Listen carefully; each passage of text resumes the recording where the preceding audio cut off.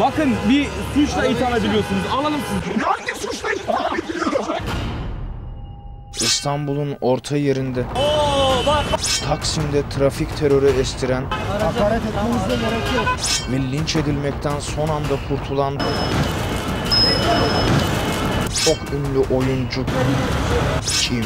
Ayıp sana be. Şoke olacaksınız. Geçen aynısını bana yaptın. İnanılmaz görüntüler. Bu gece saat 23.55'te. İlk kez ve sadece